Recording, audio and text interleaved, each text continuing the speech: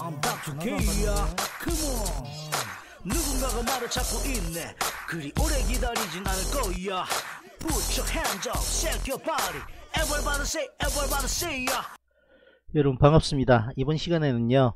아, 미국 주식 분석 좀 해볼 텐데요. 반도체 관련 주식들 한네 종목 분석해 보도록 하겠습니다. 자 먼저 전일 미국 상황 가볍게 체크하자면요. 상당히 큰 폭의 아, V자 급반등 나오면서요.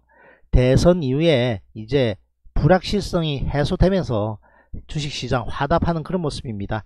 어, 전일 다우존스는 0.24%로 조금 조정받았습니다만 20일 60일 모든 이평선 다 돌파하는 양호한 상황에서 가벼운 조정이니까요 무리 없는 상황이고요 나스닥은 상승 0.04% 강보합으로 아, 상승 마무리된 상황 이제 신고가 다시 아, 치고 갈 것인지 상당히 관심있게 한번 볼 필요 있고요 오늘 어, 분석할 반도체 지수는 신고가 랠리하고 있는 상황입니다. 자 그러면 세부 종목들 한번 챙겨 보도록 하죠. 자 먼저 인텔부터 한번 챙겨 보도록 하겠습니다. 인텔 큰 폭으로 한번 아, 차트를 크게 놓고 한번 보자면요. 자 지금 현재 보시면 아, 큰 흐름에서는요. 박스권의 하단에 위치하고 있습니다. 자, 인텔은 우리나라 지금 아, SK 하이닉스의 NAND flash NAND flash 사업 부분 아, 지금 양도한다 그런 부분 나오죠. 자, 최근에 주가 흐름 좋지 않습니다. 자, 현재 42달러 인근까지 아, 지금 밀려 있는 상황이고요. 그렇다면 어, 인텔은요 여기 42달러 정도는 지지할 가능성 높다. 43달러 보는 것이 43달러로 보는 것이 조금 더 아, 뭐 1달러 차이입니다만 더 정확하다 할 수 있겠죠. 자 상당히 단기적으로 낙폭이 컸고 기술적 반등 정도 나올 수 있는 구간인데 아, 매수는요 조금 그래도 자제하는 게 좋지 않을까. 43달러 인근 정도에서 분할 매수 정도 접근은 가능해 보이나? 강한 상승 추세가 벌써 무너졌기 때문에 이제 하락 추세 전환한 상황이니까 반등 시에 47달러 아, 가지고 계신 분이라면 47달러 48달러의 강한 저항이 예상되기 때문에 그 위에 5, 50달러도 있습니다. 가지고 계신 분이라면 반등 시 매도 의견 그리고 신규 매수는 조금 더 조정받고 43달러의 지지를 확실하게 한 번더 아, 확인하고 난 다음에 박스권 하단에서 매수 그리고 아, 반등 시에 아, 48달러 정도에서 매도하는 전략을 제시하도록 하겠습니다.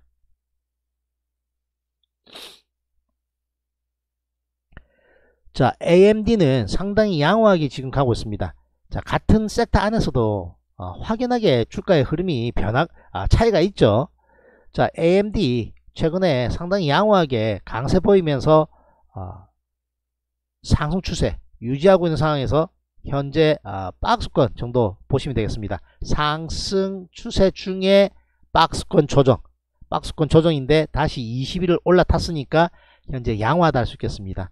자 이제 추가 상승한다면 88달러 어, 정도의 저항권을 얼마나 강하게 돌파하느냐에 따라서 94달러 인근인 아, 고점 부위까지도 아, 한번 대시해 볼 수 있는 상황인데요. 88달러에서 한번 조금 주춤하지 않을까 일단 그렇게 예, 측하고 있고요. 가지고 계신 분이라면 88달러를 강하게 돌파한다면 더 홀딩 그렇지 않고 88달러에서 이렇게 전고점 권역이죠. 조금 무너진다면 조금 차익 실현 그리고 20일 60일 권역인 81달러 권역에서 다시 재반등 나올 때 어, 팔았던 물량 다시 추가하는 그런 전략 제시해 드리도록 하겠습니다.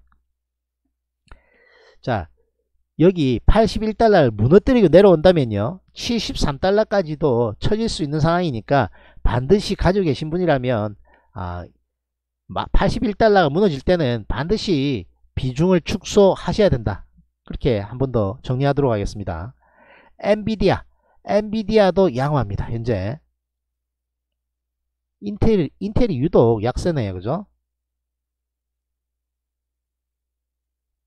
자, 조금 전에 AMD의 상황을 어, 앞으로 상황을 어, 엔비디아와 접목시킬 수 있겠죠. 지금 아, AMD는요. 잠깐 넘어가면요. 이제 21, 60일 돌파한 상황이고 추가로 전고점이 좀 남아있는 상황이고 엔비디아는 여기 돌파 이후에 강하게 추가 상승해서 전고점까지 강하게 치고 간다 이겁니다. 자 그렇다면 엔비디아는 가지고 계신 분 입장에서는 더 홀딩 가능하겠죠. 여기서 크게 밀리지 않고 추가 상승했으니까요. 그죠? 만약에 더 치고 가면서 양호한 흐름 보인다면 홀딩 그렇지 않고 58만 585달러 인근에서 조금 주춤한다면 이렇게 아래 윗꼬리 닿는 덧지 정도면 더 홀딩 그렇지 않고 음봉으로 이렇게 크게 밀리기 시작하면 차익 실현해 나가셔야 된다 그리고 밀렸을 때 조정을 55달러 인근은 지지할 가능성이 조금 높지 않을까 일단 그렇게 판단하고 있습니다 줄였던 물량은 다시 55달러에서 양봉 시연할 때 추가 매수하는 전략 그렇게 어, 제시하도록 하겠습니다. 퀄컴 날랐습니다. 퀄컴은 저기 위로 날랐습니다. 20 몇 프로 올라간 걸로 확인했는데요. 아니군요. 12%군요. 와 상당히 강하게 올라왔습니다. 뭐 세부적인 내용은 제가 분석을 안 해봐서 뭐 때문에 저렇게 강하게 올라갔는지는 솔직히 모르겠습니다만 갭 상승으로 거래량 동반하면서 강하게 상승한 부분은 매우 양호하다 할 수 있겠습니다. 신고가입니다. 자 그래서 아, 이제 그러면 잘 아, 대응을 해야 되는데요. 가지고 있는 분이라면 차익 실현을 염두에 두고 있어야 됩니다. 자, 갭 상승했고 그 다음 전일은 어, 옆으로 가볍게 어, 횡보 조정 정도로 마무리되고 있는 상황이니까 추가로 상승한다면 더 홀딩 그렇지 않고 아, 142달러를 딱 이탈하는 음봉이 떨어지기 시작하면요. 이런 식으로 크게 음봉이 떨어지기 시작하면 차익 실현 반드시 해 나가야 됩니다. 그 폭은요 떨어지는 조정의 폭, 폭에 대비해서 적당히 빠지면 한 3분의 1 매도. 그렇지 않고 크게 밀리기 시작하면 3분의 2 그리고 만약에 타이트하게 매매가 가능하다면요 크게 음봉이 떨어지면 아주 소액을 빼고는 다 차익 실현했다가 과연 131달러까지 오겠습니까 그건 봐야 되겠습니다만 여기 정고점 구간 132달러는 강력한 치즈의 역할을 할 것이기 때문에 청산했던 물량은 132달러 인근에서 재반등 넣을 때 다시 추가 매수하는 그런 아, 수익을 이제 좀 잘 챙겨 나가야 되는 구간이다. 그렇게 말씀드리겠습니다. 자, 마이크론 테크놀리지. 자, 대체적으로 아까 아, 모두에 봤습니다만 반도체 관련 주식들이 양호하네요. 신고가 가고 있으니까요. 지수가요. 인텔만 별로 좋지 않은 상황이고 마이크론 테크놀로지도 양호하게 아, 지금 다시 상승 추세 전환되고 있는 상황입니다. 추세선을 한번 그어보자면요. 여기 고점에서 이러한 고점대를 그죠? 이제 돌파한 시점이죠. 최적의 매수 포인트 어디다? 이런 포인트가 되겠죠. 그죠? 평소 이야기하는 거하고 틀린 바 있나요? 그죠? 이평선 다 돌려내고 돌파, 상승 추세 확인, 전환 확인 이후에 눌림목, 눌림목에서 반등하는 구간. 이런 구간이 최적의 매수 포인트였겠죠. 하락하는 추세를 이런 식으로 저점을 높여가면서 이제 상승 추세 전환한 그런 상황입니다. 자 그렇다면 여기 구간 이거 지우고요.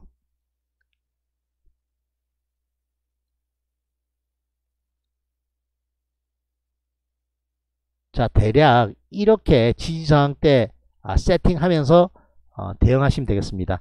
내일 추가로 상승해서 56달러 인근까지 아, 일단 목표치로 강하게 랠리 한다면 계속 holding 계속 holding 그렇지 않고 조금 조정 기미가 보이면 단기적으로 좀 급등한 여기 보면 50달러에서 지금 55달러니까 10% 올라온 상황이거든요 그래서 강하게 올라가면 홀딩. 그렇지 않고 이렇게 음봉으로 좀 밀리기 시작하면 조정을 좀 받거든요. 52달러까지도 조정 받을 수 있는 상황이니까 차익 실현 잘 해 나가야 된다. 그렇게 말씀드리겠습니다. 자 패턴이 똑같죠? 그게 저의 매매 기법입니다. 뭐 대단할 거 없는 대단할 거 없는 기법이다 생각하실 수 있겠습니다만 그것을 기계적으로 얼마나 잘 수행해내느냐. 어떨 때는 그것, 그것대로 수행을 하고 어떤 때는 또 그렇게 하지 않고 하면 되지 않는다. 일정하게 기계가 돼야 되는 거거든요. 매수 매도를 추세가 무너지기 전까지 지지저항에서 사고 팔고 하는 기계가 돼야 됩니다. 자, 이러한 추세로 가고 있기 때문에 지금 아까 말씀드렸던 56달러는 추가 상승한다 해도 전고점 V이기도 하고 추세선의 상단에 위치하는 그런 위치이기 때문에 추가로 강하게 가기보다는 한번 밀릴 가능성이 높다 이거죠. 자 여기와 여기만 껐을 뿐입니다. 여기와 여기만 껐을 뿐인데 이게 나중에 어떠한 역할을 하는지 보십시오. 여기와 여기를 껐거든요. 여기 있는 거니까 추세선의 하단은 무슨 역할을 한다? 그렇습니다. 지지의 역할을 하는 거거든요. 자, 이렇게 모르고 있었다 이거죠. 이렇게.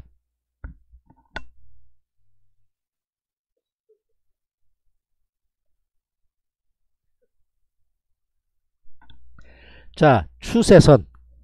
저점과 저점을 이렇게 연결했죠. 모르잖아요. 모르잖아요. 근데 앞으로, 앞으로는 여기, 여기 구간은 지지와 저항의 역할을 한다라고 미리 그렇게 전제를 하는 겁니다. 여기서 딱 수도가 올라가거든요.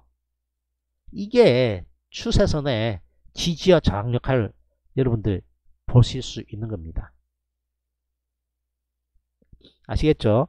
그러면 여기 부위에서 매수를 할 수 있는 이유가 추세선의 지지 권역이고 이평선 지지 권역이고 그게 그 말입니다만 그게 그 말이에요. 똑같은 말입니다.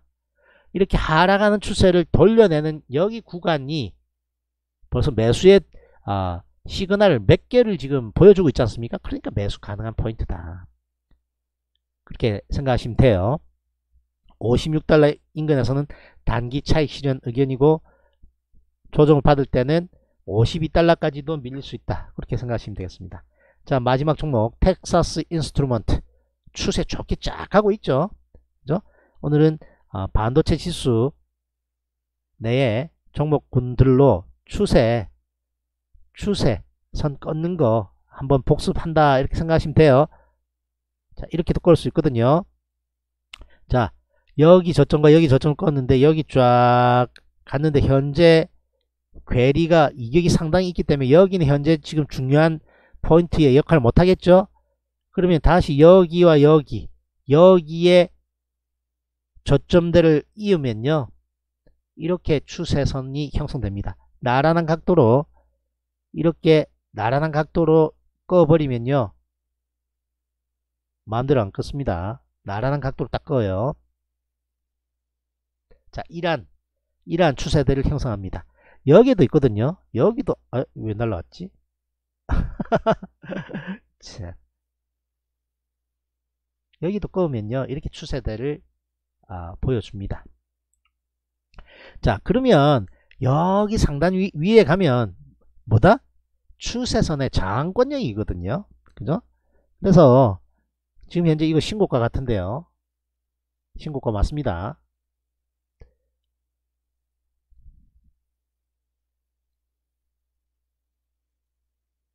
이렇게 지지저항 그리고 추세를 이렇게 내가 설정을 하고 trading 하시면 되겠습니다.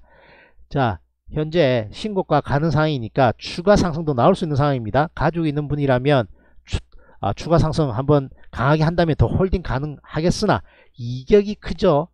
이렇게 이격이 좀 있으면 어떻게 된다? 이격을 좁히려 합니다. 이렇게 이격이 있으면 어떻게 된다? 좁히려 와요. 그러면 5일선과 21선 간의 이격이 상당하기 때문에 무너지려고 할 때 조정 받으려고 할 때 가만 들고 있으면 되냐? 이겁니다. 이렇게 이렇게 조정의 빌미가 보이면 조정의 시그널이 보이면 차익 실현해 나가야 된다 이겁니다. 그리고 차익 실현했던 물량은 20일 권역에서 지지받는 모습 지지받는 모습 보이면 다시 추가. 자 여기 추세선 하단은 뭐의 역할을 한다? 지지의 역할을 하기 때문에 14만 7, 아, 147달러 인근까지 만약에 나중에 밀리더라도 61선과 21선의 지지권역 인근일 거기 때문에 조금 더 아, 이렇게 올라올 거기 때문에 한 14, 147달러와 150달러 정도에서 다시 재매수하는 전략을 제시하도록 하겠습니다. 지금 현재 반도체 지수 상당히 강하게 양호하게 가고 있는 상황이니까 투자하시는 분들은 신규 매수는 조금 조정을 받고 난 이후에 아, 접근하시고 가지고 계신 분은 추가 상승하고 추가 상승이 계속 이어진다면 더 홀딩 이제 이격을 좀 좁히려는 조정이 보인다면 비중을 조금 줄였다가 나중에 다시 지지권에서 추가 매수하는 전략을 제시하도록 하겠습니다. 자 오늘 아, 반도체 관련 종목들 한번 챙겨봤습니다. 자 구독 좋아요 눌러주시면 thank you 추천 영상 올려놓을 테니까요.